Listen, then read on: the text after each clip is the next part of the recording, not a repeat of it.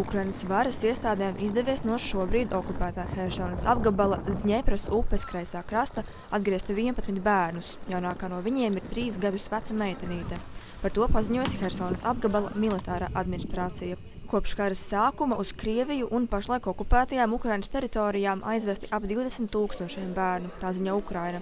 Mājup izdevies atgriezt aptuveni 400 bērnu. Tikmēr Krievijas prezidenta bērnu tiesību komisāre Marija Ļvova Belova šovasar vēstīja, ka no Ukrainas aizvesti pat 700 tūkstoši bērnu.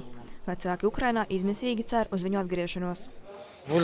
Viņi bija skolā, tad jau bija karš. Kad ierados pēc viņiem, man teica, ka bērni ir aizvest uz Krieviju.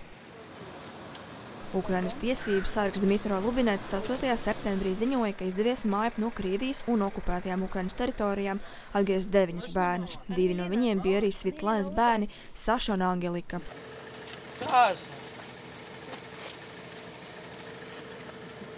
Kā stāsta Svitlana, par laiku Krievijā abi runāt nevēlas, vien tik daudz, ka esot pietrūkusi mammu.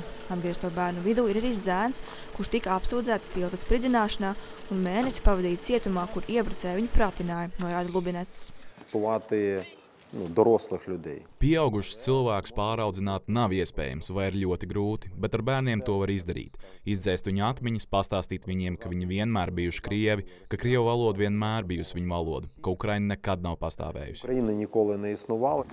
Startautiskā krimināltiesa izdevusi Krievijas prezidenta bērnu tiesību komisārs Marijas Ļivovas Belovas un Vladimira Putina aresta orderus par viņu līdzdalību Ukrainas bērnu deportācijā uz Krieviju un okupētajām Ukrainas teritorijām. Paula Koškina, Latvijas televīzija.